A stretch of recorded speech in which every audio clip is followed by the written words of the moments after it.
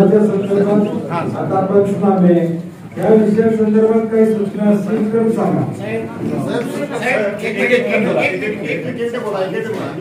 साहेब दोन हजार एकोणीस नाही, आता आता आजचं साहेब सांगा आता जे आता- आमचे तुम्ही पंचनामे करून घ्या पिकांचे ते पंचनामे आमच्या पोवाड भागामध्ये उसाचे पंचनामे होत नाही. सूचना करून कृषी अधिकारी कोण आहे तुमचं? तुम्ही काय उसाचे पंचनामे करत नाही आपण घेतल्या काय क्षेत्र आठशे बत्तीस हेक्टर पंचनामे झाले सर कुठे घेतलं नाही सांगा यांनीच कबूल साहेब नाही नाही सर तसं आम्हाला आदेश नाही आणि आम्हाला तोंडी सांगितलं बघा आम्ही सूचनेनंतर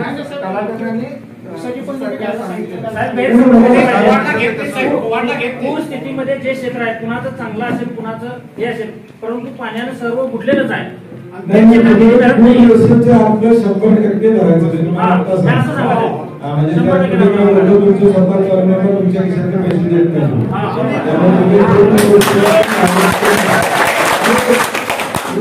नाही हे मला कोणी सांगितलं तुम्हाला? मग कसं नाही म्हणून सांगता हा. कृषी अधिकाऱ्यांमध्ये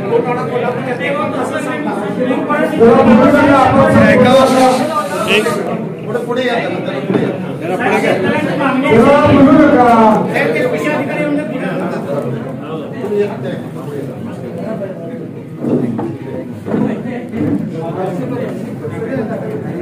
अरे बघा मग काय व्यवसाय हिंदू लोकांच्या दिवसाची नाही म्हणून मला एक तक्रार याच तालुक्यात आली तालुक्यात आले सात तालुके माझे फिरून झाले कुठल्याही अशी तक्रार आली फक्त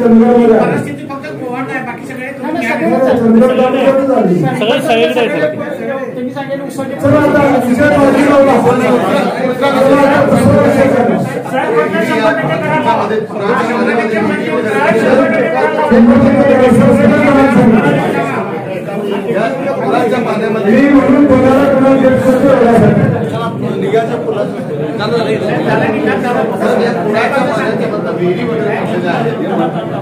विहिरीचे जरा मागं ऐकलं नाही तर मी एवढ्यासाठी म्हणतो मी बोलतो मी त्याचे सगळे विषय मी तुमचे क्लिअर करतो माझं समाज आहे मी मी बोलतो विहिरीचे प्रश्न धरा तुम्ही हा, सांगितलं. साहेब यांनी काय केलं आता घरी पाणी शिरलं का नाही ते का म्हणजे चोवीस तास घरात पाणी आहे काय तर ते घर नाही नाही तसा काही विषय नाही.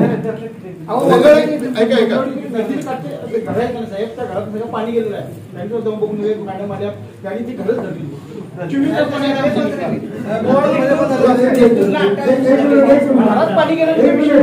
आता तसं कुठं झालं असेल तर ते चौकशी एक मिनिट सांभाळले वेगवेगळ्या चौकशी करा आणि ते आता चर्चा नको.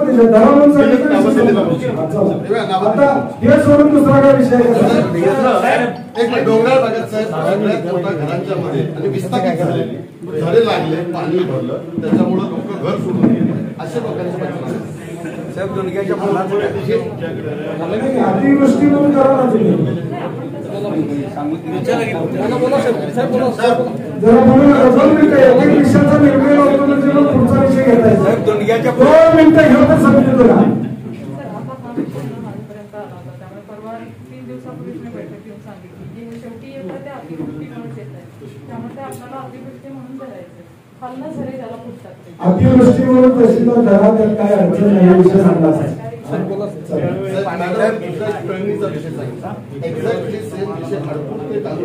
हा हीच एक कनेक्टिव्हिटी चालू आहे रस्त्याची. पलीकडून सगळं रोड बंद होते हडपूर आता पहिल्यांदा दोन फूट पाणी पहिल्यांदा वाढलं. कोवाडमध्ये पुलाचं हे कमी असताना? ते सगळे बंधारे सगळे जे मोऱ्या सगळ्या खाली. आणि मोऱ्यांच्या वरती मोऱ्यांचं पूर्ण पाणी असतं.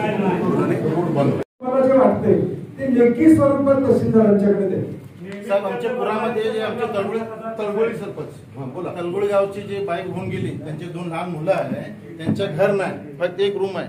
आणि कदाचित तहसीलदार साहेब आणि बीडीओ साहेब येऊन बघितले होते फक्त एक रूम आहे. कदाचित त्यांना घराचं काय बी झाला घरकुलमध्ये ना तर कशा बी तुमच्या याच्यानं. सर मगाशी सरपंच मी पुनर्वसनाचा विषय जनरल बोलतो. गाववार कसं बोलू शकेल एक जनरल बोललो की पुनर्वसनाचा विषय मी एक खुलासा केला. मग ते मला मला समजलं नाही. ते पूर्ण प्रश्न म्हटलं तर गेलेलं माझी विनंती काय आता मी जे बोललो ते सोडून काय विषय असणार साहेब, एक विषय आहे. शिक्षणाच्या विषयी शिक्षणच्या बोलताय, माझं आधी बोलणं झालं. शिक्षणचं आहे साहेब त्यांचं. साहेब मला बेळगाव अर्ज द्या मी मदत करतो. शिक्षणाचे अर्ज दिलेले आहे. बेळगाव वेंगुर्ला मेन हायवेला दाटे या ठिकाणी दरवर्षी पाणी येते मेन हायवे पण होतं फक्त त्याच्यावर भराव एक चार फुटाच्या भरावची गरज आहे. दरवर्षी का होत नाही सर? फक्त पाचशे.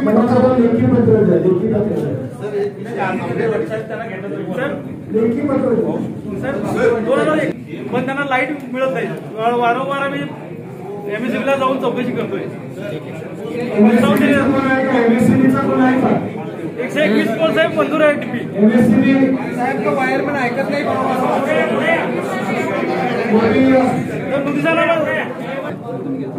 साहेब किल्ले का नाही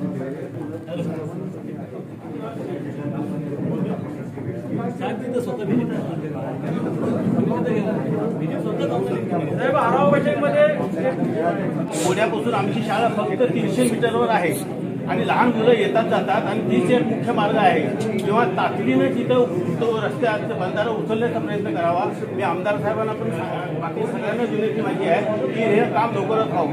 दुसरं एक माझं महत्वाचं काम सर वैयक्तिक आहे. दुसरं एक महत्वाचं काम आहे सर गलगोरडी गलगोरडी कडलगीमध्ये एक घोडा आहे. तिथं अचानक ढगफुटी झाल्यामुळे फार मोठ्या प्रमाणात पूर आला आणि नागरदेवाचा एक जवान एअरफोर्समध्ये काम करत असलेला तो वाहून गेला. आणि टीव्हीवर वगैरे न्यूज आली होती. आता आम्हाला भीती वाटते की आमच्या शाळेत येणारी मुलं अचानक काय असं झालं तरी फार मोठा अपघात होण्याची शक्यता आहे. तातडीनं त्या पुलाची उंची वाढवून मिळावी अशी आम्हाला शाळेच्या वतीनं दुसरे दुसरे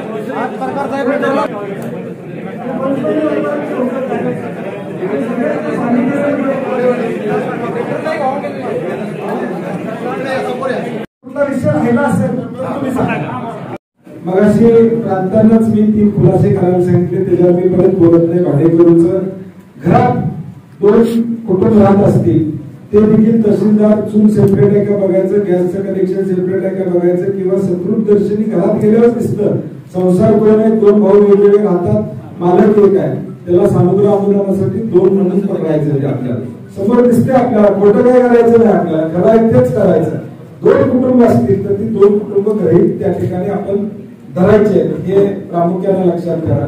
वरच्या मजल्याचं मला प्रांताने त्या ठिकाणी सांगितलेलं आहे. पंचनामे आता किती हेक्टरचे झाले किती हेक्टर राहिले बाबा? सत्तावीस हेक्टर झाले. राहिले किती? आहे आपण सत्तावीसशे ठरवलं होतं पण आता एक साडेतीन हजार रुपये. हे सत्तावीसशे हेक्टरमध्ये किती झाले? सत्तावीसशे ब्याऐंशी झाले. सत्तावीसशे ब्याऐंशी झाले.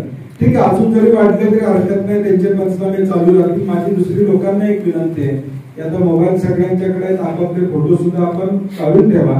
पंचनामे आपले होतीलच पंचनाम्याची काय अडचण आली तर आपण सांगू दुसरा एक महत्त्वाचा विषय या पुराच्या संदर्भातला तो म्हणजे ओढे नाले आता पाटबंधारे विभागाला मी सूचना दिलेल्या आहेत की जुने आमचे ओढे नाले हे नोटिफाय करा. आता व्हिडिओ उद्याच्या उद्या एक पत्र तुम्ही काढायचं की सगळ्या ग्रामसेवकांना जे जे ओढे नाले असतील कारण की आता काय झाले ओढ्यावर उजव्या बाजूने बंटी पाटलानं बांधकाम केलं आणि डाव्या बाजूने गोपाळराव पाटलांनी केलं. दोघांनी आम्ही एकमेकाची तक्रार करत नाही कारण की आम्ही दोघांनीच केले. म्हणजे मी पण केलं आणि माझ्या समोरच्याने केले त्यामुळे आम्ही तक्रार करत नाही. आता ते ओढे नाले आपले पूर्वीसारखे राहिले पाहिजे मोठे आहेत तसे. तसं तुम्ही आता एक पत्र काढून ग्रामसेवकांना जे जे जेवढे ओढे आले त्याचं नोटिफाय करायला लावा. ते नोटिफाय करायची प्रक्रिया इरिगेशन डिपार्टमेंट करतं त्यांना प्रस्ताव पाठवायची व्यवस्था करा. ह्याला आता पंचनामे झाल्यानंतरही करायचं. आता गडबड गडबडीत पहिलं आपली प्रायोरिटी आता पंचनामे करणे ही प्रायोरिटी आपली आहे. ते आपण त्या पद्धतीनं सूचना त्या ठिकाणी येईल दुसरा पुनर्वसनाचा विषय. आता मी गेले एकोणीसला इथं आलो. अनेक वर्ष पुराच्या बाबतीत आपण चर्चा करतोय आणि माझी प्रामाणिक इच्छा आहे की आता पुनर्वसन हा विषय आपण या ठिकाणी घ्या. आणि म्हणून व्हिडिओला आणि तहसीलदारांना दोघांना माझी खास करून विनंती आहे की आता ज्यांच्या घरात एकोणीसला पाणी गेलं एकवीसला पण पाणी गेलं अशी यादी काढा. आणि त्या लोकांचं त्या त्या गावात पुनर्वसन कुठं करता येईल? आता मगाशी दुर्ग्यात गेलो ते म्हणजे पुनर्वसनचा आमचा प्रस्ताव आहे प्रांतांच्याकडे गावठाण मंजुरीचा तो हा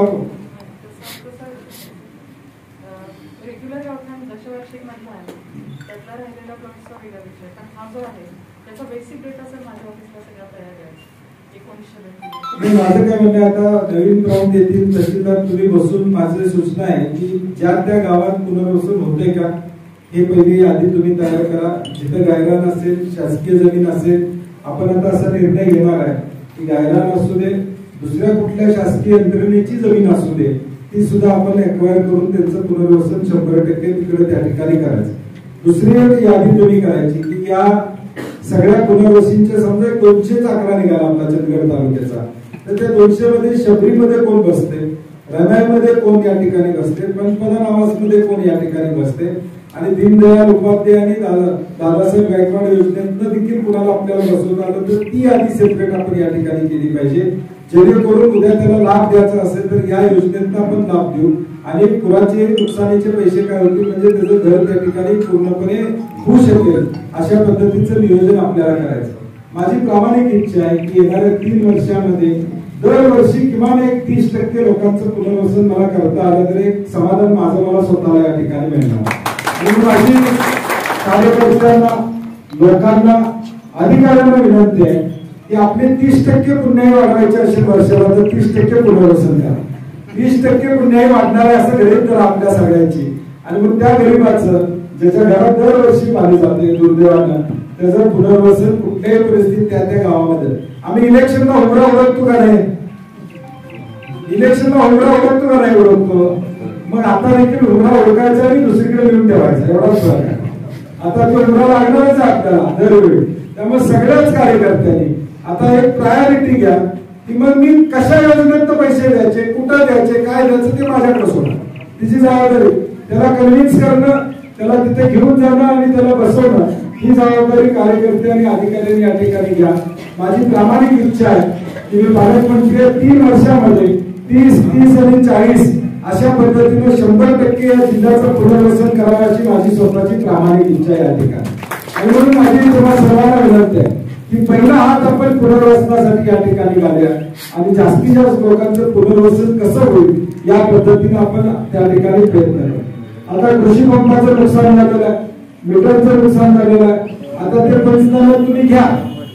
यादी तयार करा. त्याला आता काय नावमध्ये आपले पैसे नाही आहे परंतु त्याला उद्या पैसे द्यायची शासनाचा निर्णय झाला तर आपल्याला यादी किमान आपल्याकडे असली पाहिजे. की कृषी पंपाचं किती नुकसान या ठिकाणी झालं. पाणी पुरवठा आपल्या गावाचे आहेत. त्यांचं नुकसान किती या ठिकाणी झालं. त्याचाही आकडेवारी आपण या ठिकाणी काढा. शाळा असतील अंगणवाड्या असतील त्याचं नुकसान काय काय झालेलं आहे त्याची आकडेवारी आपण त्या ठिकाणी काढा. आणि रस्ते. ज्या ठिकाणी आता दुर्गाला गेलो तिथला पुलाचा विषय आहे. अशा अनेक ठिकाणी ऐवणीचे जे विषय असतील ते तहसीलदार मला पुढच्या आठ दिवसामध्ये प्रायोरिटीने या ठिकाणी द्यायचे आणि पुनर्वसनाच्या बाबतीत तुमचा आता पंचनामे पंधरा ते वीस ऑगस्ट पर्यंत पूर्ण होतील. वीस ऑगस्ट ते वीस सप्टेंबर एक महिना मी तुम्हाला देणार आहे. एक महिन्यात तुम्ही मला पुनर्वसनाचा प्लॅन या ठिकाणी करायचा जसं मॅडम म्हणले की त्यांच्याकडे यादी तयार आहे. त्याचा अभ्यास करा. कुठं पुनर्वसन कसं करता येईल याची सगळी माहिती द्या. मी वीस सप्टेंबर पर्यंत तुम्हाला काही विचारणार नाही.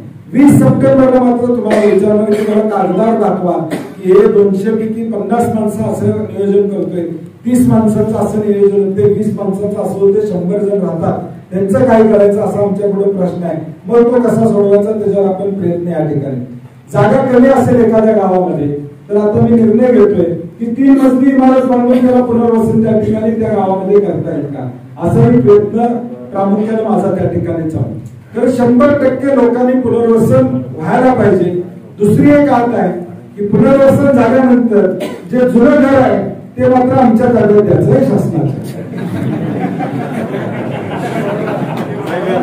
नाही तर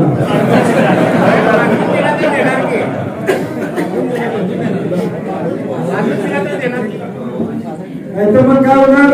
उन्हाळ्यात जुन्या घरात आणि पावसाळ्यात आम्ही केलं ते देणार. पूर्ण पाडून टाकायचं त्यामुळे नाही नाही हा विनोदाचा भाग नाही मी थोडं तशा पद्धतीनं तुमच्यासमोर सांगितलं परंतु हा विनोदाचा भाग नाही. यात आपल्याला काहीतरी निर्णय घ्यावा लागेल नाही तर मग ते घर कधीतरी पडणार ओढलं ते आता पडणार नाही. दोन वर्षाला तीन वर्षाला आम्ही झोपलत असणार आणि त्यावेळी ते पडणार. आणि मग आम्ही त्यावेळी काय करणार? आम्ही तुम्हाला जागा दिली होती तिकडे घर बांधून दिलं होतं. का तिकडे गेला नाही? म्हणून आमदार निलंबित होणार नाही मंत्री निलंबित होणार नाही. तहसीलदार आणि अधिकारी फुकट बळीचे बकरे त्यावेळी होणार त्यामुळे पुनर्वसन ज्यांना करायचं आहे त्यांना मात्र जुनं घर या ठिकाणी सोडावं लागेल. हे स्पष्ट आहे. आता किती लोक म्हणून तीस टक्के का म्हणले या वर्षी मला माहीत आहे. सगळे तयार होणार नाही. आता तीस टक्के तयार होतील. पुढच्या वर्षी पाणी आलं की राहिलेली तीस टक्के म्हणतात आम्हाला घेऊन जावं. ताप नको कारण की वन जी होणार आहे. आणि घरं भिजणार आहे दरवर्षीचा ताप वाचवण्यापेक्षा. आता भिजलेलं घर दुरुस्त करायला दहावीस हजार रुपये जातात का नाही? जात असतील ना हा, कमीत कमी. आता ते कायमचं घालवायचं असेल तर आपल्याला हा निर्णय कुठेतरी पुनर्वसनाचा घ्यावा लागेल. थोडा कटू निर्णय आहे. परंतु तो आयुष्यभरासाठी पुढच्या पिढीसाठी आपल्याला त्या ठिकाणी घ्यावा लागेल. ही माझी तुम्हाला प्रामुख्याने या ठिकाणी विनंती असणार आहे. पावसाचं या दरडी कोसळतात. त्याच्या संदर्भात एक पाच जणांची तज्ञांची पाच कन्सल्टंटची कमिटी आपण या जिल्ह्यासाठी नेमतोय. ती कमिटी येऊन सगळं बघेल आणि आम्हाला सांगेल कशामुळे दरडी कोसळतात आता इको सेन्सिटिव्ह झोनमध्ये शेती करायला परवानगी आहे. बुलडोजर घालून बंडिंग करून फार्म बांधायला परवानगी नाही. त्यामुळे आता त्याच्यावर मी बंधन येणार आहे. पुढच्या काळामध्ये या डोंगरावरच्या बांधकामावर आपल्याला बंधन आणावं लागेल. तरच नाहीतर कधी कधी कधी तर ते डोंगर खाली गावापर्यंत पोहोचणार आहे. आता जर आली फक्त गावाशेजारी तो अख्खा डोंगर खाली हा. आहे. वेळ लागणार नाही. दुसरी एक तहसीलदारांना विनंती आहे की तुम्हाला जो धोका वाटतोय आता दरड कोसळणार आहे पुढच्या महिन्यात दोन महिन्यानं तिथलं तुम्हाला शिफ्टिंग करायचं असेल तर तुम्हाला तात्पुरतं निवारा केंद्र उभा करायला आम्ही पैसे देतो. त्यांचं शिफ्टिंग त्या लोकांचं त्या ठिकाणी करून घ्या. असं कुठलं आहे का? लक्ष्मीनगर वसाहत म्हणून आम्ही थांबलो त्याच्या खालती डोंगरच आहे त्याच्याखाली आमची लक्ष्मीनगर वसाहत आहे आहे? जवळजवळ सव्वाशे घर आहे इंदिरा आवास इंदिरा आवास विकास योजनेतून मी मिळालेली आहे मी गेली दोन वर्ष सातत्यानं पाठपुरावा करत आहे मॅडम आहे कंपाऊंड करून काय कटणार नाही डोंगर खाली फिरायला. तिथे अशी दग- दगड माती सारखी कोसळत राहते. संरक्षण- आता काय आहे, मी पन्हाळ्याची रस्ता केल्यानंतर काल बघून आलो. पन्हाळ्याचा रस्ता. पाच फूट बाय शंभर फुटाचा ऐंशी फुटाची आरसीसी वॉल केलेली. ती सगळं घेऊन गेलं पाऊस ती काय टिकत नाही.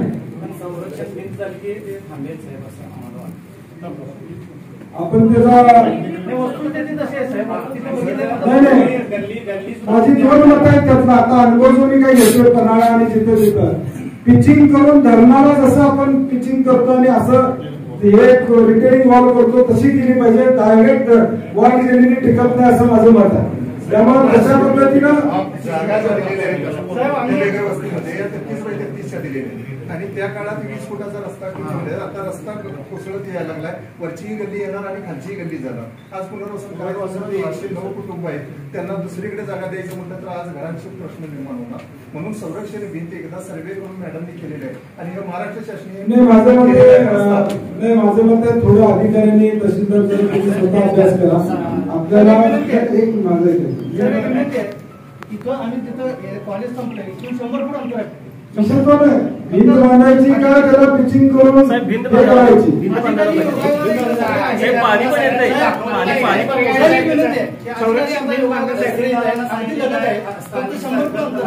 म्हणजे मी आता उद्या सकाळी अधिकाऱ्यांना संबंधित पीडब्ल्यूडी सगळ्यांना घेऊन जावा तुम्ही कारण की ते भिंतीचा अनुभव वाईट आहे मला सगळीकडे आता पाण्याचा फोर्स एवढा येतो की भिंत वाहून जाती त्याचा डबल ताप होईल पण तिरकी तिरका आपल्याला काय पिचिंग करून ते रिटर्न करता येते का? डोंगर रिटर्न करता येते का? त्याचा विचार करूया. आणि ते पाणी काढून तिथनं गटरनं पाणी बाहेर काढता येते का? असं काहीतरी करता येते का? म्हणजे पाण्याचा त्रास तुम्हाला होणार नाही आणि डोंगर कोसळणार नाही. मी जरा थोडं लक्ष घालतो त्यात. मला तहसीलदार सांगू द्या. तुमचा विषय मला कळाला. मला वेळ थोडा द्या. त्याची माहिती घेतो आणि मी त्यामध्ये मार्ग काढायचा प्रयत्न त्या ठिकाणी करतो. आता पंचनाम्याचा पुनर्वसन बाकीचे विषय संपले. आता मी बोललेलो सोडून राहिलेला कुठला विषय